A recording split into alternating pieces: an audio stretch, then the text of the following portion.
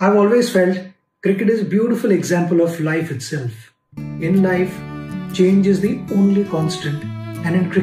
जब से रोहित शर्मा को मुंबई इंडियन की कैप्टेंसी से बर्खास्त कर हार्दिक पांड्या को कप्तान बनाया गया है तब से सारा देश आक्रोशित है खुद को वन फैमिली कहने वाली मुंबई इंडियन के परिवार में चारों तरफ़ क्लेश ही क्लेश नज़र आ रहा है पहले तो सूर्य कुमार यादव और जसप्रीत बुमराह ही खुलकर मुंबई इंडियन के इस डिसीज़न के खिलाफ बातें कर रहे थे पर जैसे ही सचिन तेंदुलकर ने इस पर अपना मुँह खोला, सारा देश सन्न रह गया।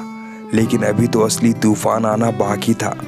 जी हाँ दोस्तों, रोहित शर्मा को बताए बगैर उन्हें कैप्टेंसी से इस तरह हटाकर हार्दिक पांड्या को कप्तान बनाना मुंबई इंडियन का सबसे खराब फैसला साबित हो रहा है। फैंस मुंबई इंडियन को धड़ाधड़ ब्लॉक कर रहे हैं। हार्दिक पांड्या को छोड़ मुंबई इंडियन के सारे खिलाड़ी रोहित शर्मा के साथ खड़े हैं। और अब सचिन तेंदुलकर ने सामने आकर मुंबई इंडियन के इस फैसले को निराधार बताया और रोहित शर्मा को सपोर्ट किया। अब तो लगता है मुंबई इंडियन का इस दलदल से बाहर निकल पाना नामुमकिन है।